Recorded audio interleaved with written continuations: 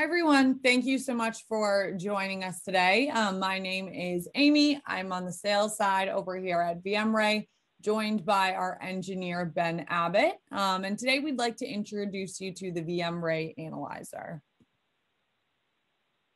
So our customer base utilizes VMRay for four major use cases.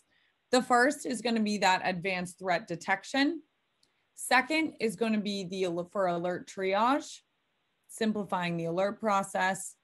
Third, for instant response, fast, in-depth visibility into confirmed incidents, as well as threat intel generation. And through our agentless approach to sandboxing, VMRay is providing you with evasion resistance. And what that means is we analyze at the hypervisor layer, which makes us undetectable, that's something that is unique to the VMRay technology. All, signal no noise. We're not going to be inundating your team with false positives, time wasting alerts, anything like that. Um, really giving you just full alerts that your team needs to pay attention to. Full visibility into malware behavior and life cycle, as well as being fast and scalable for you and your team. I'll now hand it over to our engineer, Ben, to discuss how VMRay integrates with the, your security ecosystem. And like most modern sandboxes, VMRay allows users to be able to integrate it with other security solutions. So to be able to pass the samples over to VMRay for the sandbox analysis, but also pulling those results from the analysis back into those security solutions. And this could aid, aid with the incident response and threat intel generation. When a sample is submitted to VMRay, it goes through three steps before it gives the final verdict of that analysis. And the first step in this is our reputation analysis. And this can very quickly determine if that sample is already known to be malicious or benign, and it can return that information near instantaneously. Next, it'll go through our static detection, which is going to do a deeper dive into that sample, looking specifically at the Office documents and seeing if there's any active components on those uh, for, for things such as macros or embedded links and files. Lastly, it'll go through our core analysis, which is our dynamic analysis. And this is where the sample is actually detonated and allowed to run as it normally would. After this is completed, the user would receive a verdict of that sample. What's unique to VMRay is the way in which we monitor the sample's behavior. Most sandboxes will have an agent within that target environment in order to monitor the behavior of the malware. The issue here is that because that agent is changing the information within that target sample, the malware is able to detect that agent and can act as a normal benign file. With VMRay, since we monitor outside the target environment in the hypervisor level, there's no additional artifacts the malware can detect. And Make sure to think about in today's presentation how to best utilize VMRay, whether that is through uh, any advanced threat detection to see exactly the behaviors the malware would run, but also using this to triage any alerts and instant response and build any threat intel generation. When analysis is completed, you can open up a dynamic analysis report in order to view all the information that was found for that particular sample. At the top of that page, we can get an overall verdict of that analysis, but also information on its classifications and some of the threat names, including some of the malware family variants uh, that we're seeing from here. We can also see below that some of the remarks that we have on that analysis.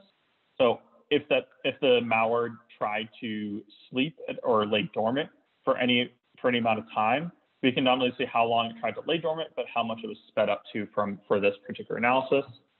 We can also see if the sample is rebooted at all. And this is something that's unique to VMRay as we're able to survive that reboot. And we can, we can see that below in our process graph is where I'll show you all the processes that occur and how they relate to each other. But we can also see processes that occur after the reboot. So we can continue to monitor the behavior after a reboot, reboot occurs.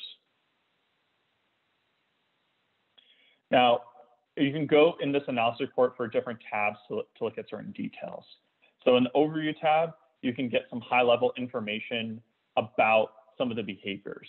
And then with, within those, you can expand those out to look at some additional details. So you can see uh, maybe specifics on some on why this was determined to be an injector. Uh, so what, what memory is being modified. You can also look at some of the anti-analysis techniques, whether it's you know, the methods it's using to detect debuggers or also evade different uh, hooking-based sandbox. Below there, we also can see the, the screenshots that occur throughout the analysis.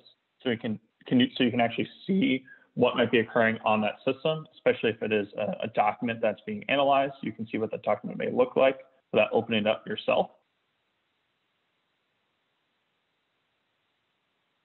Then we can, below all of this, we can see the MITRE ATT&CK matrix. And this allows you to see the uh, various techniques that are hit throughout the analysis and also what the corresponding threat identifier is so you can validate this.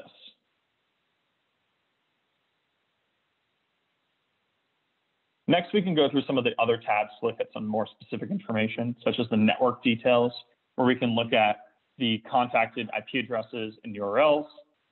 And we can also look at some of the, the host information. So not only some of the HTTP and DNS requests, uh, also the who is look uh, WHOIS analysis of this.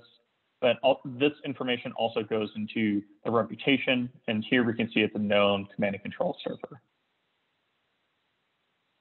We can also look at the file analysis that occurred.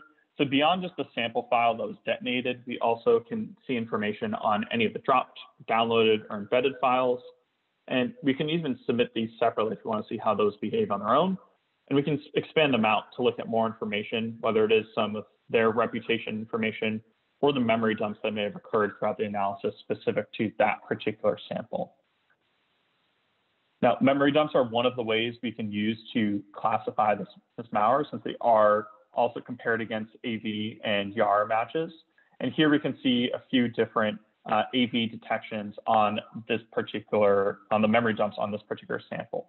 This is something we can actually use to, to go to that AV match, which will take us to that tab and highlight the, the particular match that we're just looking for. So, and beyond just the, the sample files and drop files, we also can use memory dumps and even strings from the function calls to be able to classify this sample. For this one, we can see not only that it is an artifact, we see it's an IOC because we see there's a DNS request for this host name is resolved, but also we see this is a known malicious domain, which is why this is a malicious verdict on that IOC. Lastly, to get any further information on our tool, you can always visit our Knowledge Center, which has our documentation, uh, especially for users, for submitting files and reviewing reports, but also looking over some of the references in our API guides. Thank you, Ben. Um, and thank you everyone for taking the time to join us today. If you are interested in a live demo, feel free to request via our website or you can always shoot us over an email at sales at vmray.com.